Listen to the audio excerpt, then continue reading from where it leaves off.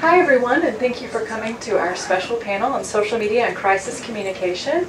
I am uh, Lucinda Austin, and this is Yan Chen, and uh, we are so glad that you could be here with us today. We have four panelists, so this panel is going to be um, a little, I won't say longer, but it's going to be a little quicker, so we can still fit into the, the time frame. So we're asking each of our panelists to talk for about 15 minutes. Um, I have a, little timer that's going to ring, so if you hear that ringing, that'll be a, they're, they're a pleasant reminder um, that they need to be wrapping up their presentation, and we have uh, we have beautiful five. Yeah, so five, five, minutes left, one minute left um, to try to keep us on track because we do have four uh, four presenters. Um, after each presenter, we're going to allow a little bit of time for a quick question or two that you may have. So we're going to limit that actually to two questions. And then if we have time at the end, we'll open it up and you can ask questions of any panelists at that time. But we want to make sure we have time to get through all four of these really great papers. Um, for this panel, this was a special call um, for a book that Yan and I have coming out through Routledge. Um, and the book is tentatively titled right now, Social Media and Crisis Communication. So these four papers that were chosen are going to be included as part of that volume. Uh, and we are excited for that to come out um, next year. If you have questions about that book, you can talk to Yan or I uh, later. We are we just finished our call for chapters, but we are still considering others. So if you have a burning um, desire to be in that book or a topic that you think is relevant, you can come and talk to us um, about that. Uh, but our panelists today, we're going to introduce them to you quickly and, um, and then let them get started on their great papers. Um, our first um, presenter will be um, Tim Coombs, and his paper is titled Social Media's Value in Crisis, Channel Effect or Stealing Thunder. Um, and then our second will be Oyvind Ihlen, uh, Digital Dialogue, Crisis Communication, and Social Media. And the third presenter will be Flora Hung. Uh, title will be Ethical Social Media Engagement in Time of Crisis. And our fourth presentation will be presented by two wonderful students from Nanyang Technological University, um, a corporate social media spokesperson who should speak on behalf of the organization in times of crisis. Thank you so much. And uh, Tim, if you'd like to get us started.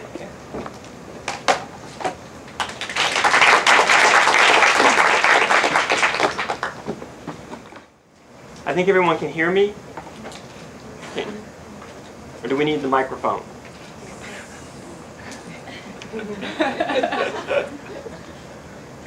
I can hear you, but I'm in the second row. So. okay. So is it is the microphone on?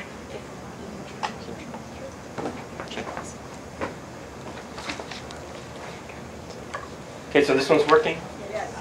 All right. I want to start off with a driving question when we're talking about crisis communication. And whether you're on the academic side or you're over on the practitioner side, the question is, what makes for an effective message during a crisis situation? Unfortunately, there's no simple answer. Instead, what we find, it's a really complex puzzle with a lot of pieces. And in fact, we don't even know where all those pieces are or how they fit together. And that's where research comes in. I think that's what we provide from the academic side, is we help to find those pieces and explain how those pieces fit together. Well, one of those pieces that we know exists and works is the idea of stealing thunder. And stealing thunder is basically when there's a crisis situation and your organization knows you're in a crisis, you are the first source to release that information. So your stakeholders learn about the crisis from you, the organization, not from the news media and not from some post up on social media. It comes from you directly. You're the initial source. And we know that helps an organization. It protects it from a lot of the damage that they might incur from a crisis. Well, add to that now the emergence of social media. And what we have is our puzzle gets even more complex because there are issues that arise in just the use of the social media. And one of those tentative findings, and another possible piece, is the idea that there's a channel effect. That by using social media, that changes how stakeholders actually perceive your crisis message. But one of the concerns we had when looking at some of that research was that perhaps there's some confusion between the source, which would be timing and stealing thunder, and the channel effect, that there could be some issue there. And so what I'd like to do is walk you through the study we've begun to explore that issue with, and take you through some of the basic ideas behind it, the design, and then focus on the results. One of the driving issues here is the idea of what about a channel effect? Is there really a channel effect or not? Is that the research there is still tentative. And the reason it's tentative are two reasons. And the first reason is the studies, as they've been conducted so far, have not controlled for timing. That when you're using social media, source and channel can get conflated with one another. Because if it's on my company Facebook page, and that's the message you see, I'm also the first source for you, so it cannot just be channel, it could also be source. So we're trying to sort that out. Plus, Twitter complicates everything when you're talking about it from a research perspective. It's 140 characters. So it's not comparable to compare Facebook to a news story to a Facebook page because of the number of characters and the size of the of the um, messages that are being used. And that's uh, a design issue that's too boring to get into, but just know that's really problematic as well. And so what we've done in the study is we can distill it down to this. It's stealing thunder, and that's Thor over there. That's the best representation of thunder I could, and lightning I could come up with. And also versus social media. So is it a source or is it a channel effect that we're looking at here? And what we've done is we came up with six hypotheses. I'm not going to run through them. They're long. Hypotheses are boring. What I will say is there are three related to a channel effect and three related to stealing thunder and it relates to three outcome variables which we'll come to later. We'll get through those. So kind of give you the basics of the design here. And think of it, we're thinking about solving a puzzle here. Don't think of it as an, an empirical study. I know for some of you that's scary, but we're going to look at it as a puzzle instead, what we're looking at here. The design was a 3 by 2 and, what, and the conditions there, but it's an incomplete factorial design. In a complete factorial design, there would be six cells, but in this one we only have five. That's why it's incomplete.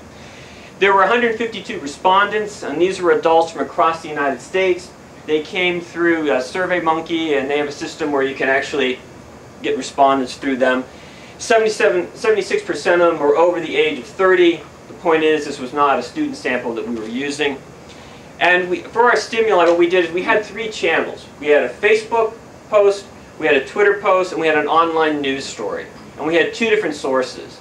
The source, one source was CNN, and the other source was, um, was the organization in crisis Taylor Foods.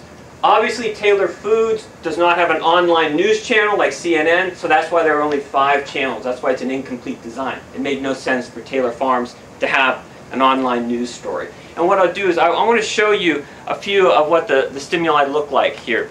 And it was a crisis type was a product harm. And we chose product harm because product harm creates moderate amounts of perceptions of crisis responsibility. So it's not too harsh, but it's not too low. And in fact, the previous studies looking at the channel effects had used a similar type of crisis as well. So if we look a little bit at the messages here, this was the Taylor Farms site. What we did is Taylor Farms had a product recall. We made sure uh, none of our subjects had heard of this recall. It was about four or five years back. And so we used the actual message from the recall and then we, we put it in. In this case, it's the Facebook page for Taylor Farms. We use elements of their Facebook page, cut and paste, you put it together, and you kind of get what looks like the actual Facebook message there. CNN, this is their news story. It's the exact same text. All we're changing is the sources. That's it. So the text remained the same in the Facebook post for CNN, for Taylor Farms, and also for the online. So they were completely equivalent in terms of how they were approached. Again, the only difference was the source for the information and what channel that it appeared in for those.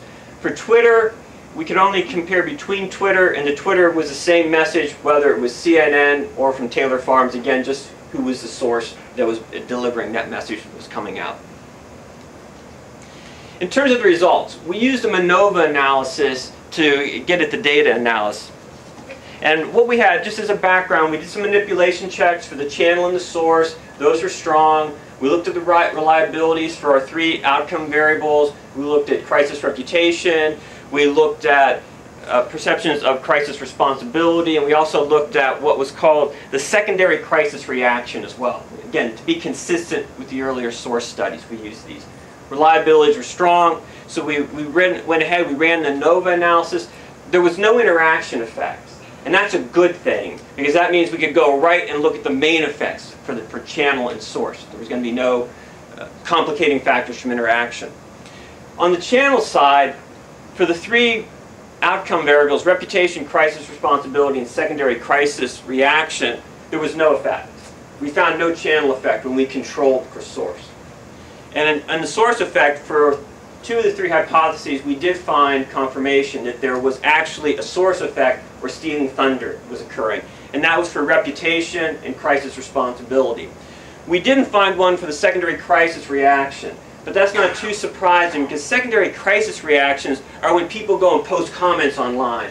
And for that, you need to have stronger emotion about the crisis. And this just didn't generate that much emotion because it was a moderate level of crisis responsibility. A more severe crisis, you might see more of a secondary crisis effect. People just weren't that excited about going and posting messages about a recall of a bag of lettuce. Just didn't have that same emotional impact for them. And to look at a little bit more closely the details, just want to give you a few numbers, not many. As you can see, the reputation was lower when it was from the news source as opposed to the organization in crisis. That's stealing thunder.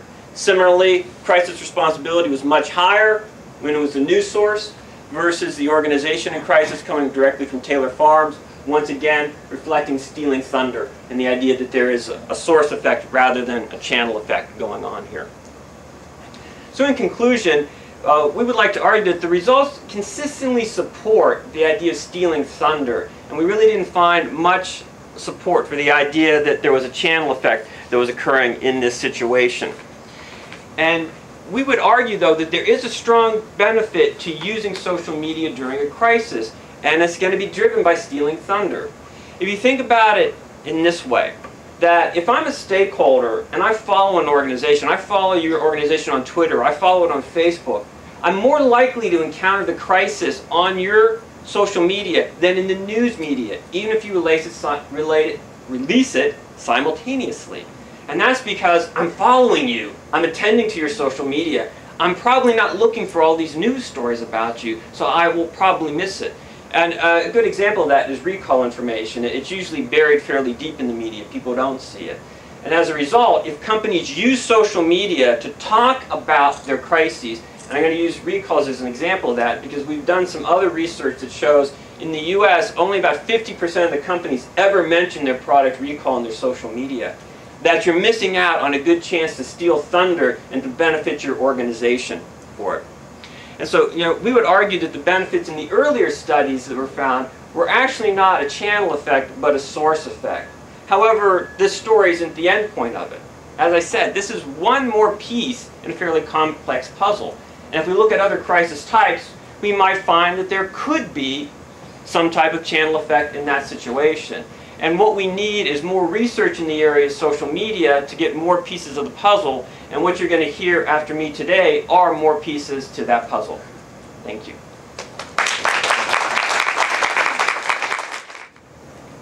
Did you identify, sorry, did you identify specific companies that were able to do this, uh, stealing thunder? You said only about 50% of US companies uh, uh, mention their recall on the web, on their social media. Yeah. channels. And uh, oddly enough, it was usually more larger companies, smaller food companies, who actually would then proclaim that they were really concerned about the health benefits of their products, rarely talked about their recalls. It was mostly the large food companies that talked about the recalls.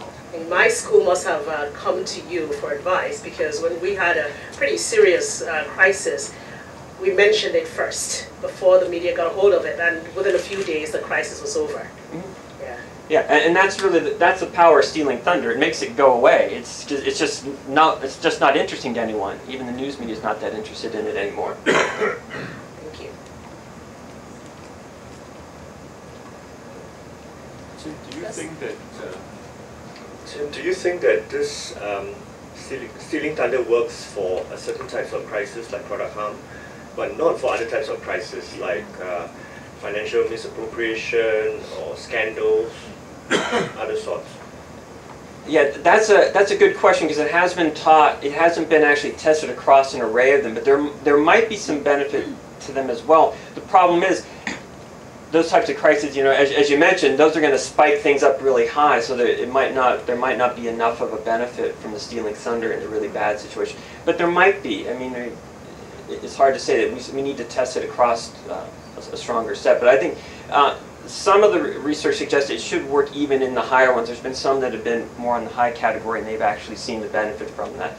It's just something about releasing that bad information first really, really benefits you.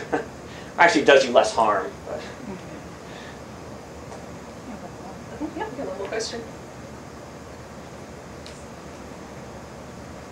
Do you think the social media will take the place of the company's website in the future? Uh, I think the social media should complement the website. I think the social media should be a way to drive people into the website because the social media has limited, particularly Twitter has the limitations and Facebook is a little bit different too, because it has a more informal tone. I think they need to work together, and that way uh, I can have links to drive you to the website. I think you're always going to need the website for more information for, for organizations, but social media needs to be part of that mix, and if it's not, the company is, is missing a big opportunity there. So I think they'll, in the future, they should all work together better than they do now.